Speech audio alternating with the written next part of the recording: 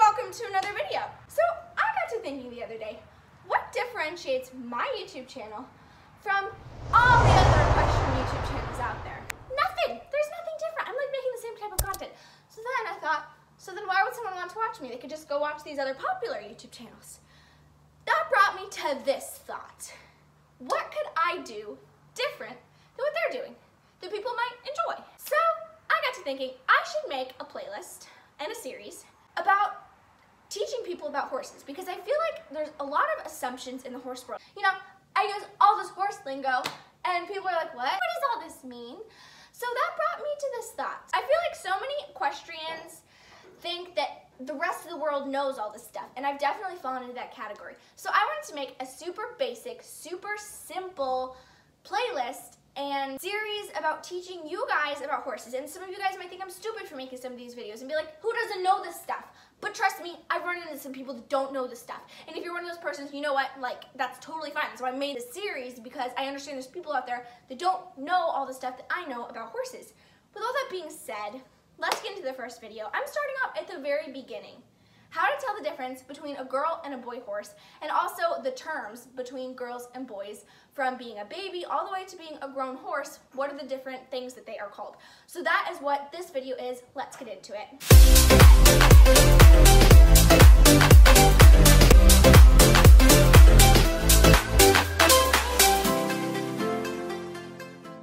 Alright y'all, so to be starting at the very beginning, like I stated a couple seconds ago, I am going to be teaching you guys the difference between a girl and a boy horse. So from the time they are born, when a horse is born, it is not called a baby horse, it is called a foal, which is a generic term covering the whole category of baby horses.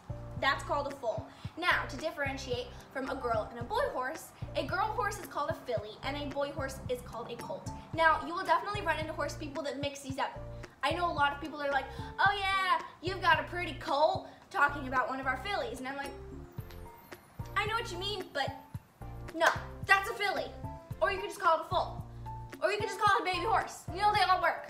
But colts, no, it's not a boy horse, but whatever. So, you know, if you do mix it up, people probably won't be offended because they'll probably just understand. I mean, they'll at least understand that, oh, this person actually knows something about horses. They just, a lot of people mix those up. So it's not a big deal, just so you know. A girl baby horse is called a filly and a boy baby horse is called a colt. Now, when they grow up, I believe it's about the time they turn three or four, they become a grown horse. And a boy horse is now called a stallion and a girl horse is now called a mare. But here's the tricky part, kind of fun too. Most three and four year old boy horses are not called stallions because they got gelded and most horses get gelded when they are yearlings or six months old to even two years old. Some people wait that long. Most of the time they get grumpy enough by the time they're about six months old to a year that people geld them then. Now what is gelding? A gelding is a neutered boy horse. So this is a horse that cannot reproduce. Poco is a gelding. He is not a stallion. He cannot make babies. Now, funny fact, they do not spay mares. They geld boy horses and neuter boy horses, but they do not spay female horses. That's just a very complicated thing in all animals and horses are so big and complex that that just would never work with a female horse. So next part is to show you the difference of a girl and a boy horse, what they look like actually on the horse. And I'll try to make this not awkward. So I'll go show you. Okay, so since Poco is a gelding, I'm going to show you the obvious difference on him between him and a mare. So the easiest way to tell the difference is by simply lifting their tail. So if I lift his tail, you can see all that there is is his rectum or his poop hole. That's, that's all that's back here. If you look under a mare's tail, you will see that, which is what Poco had up at the top, and then this, which is where she pees from. And that's also where a baby comes out of, which is pretty cool. I actually saw it happen to her, in fact, because she had a baby.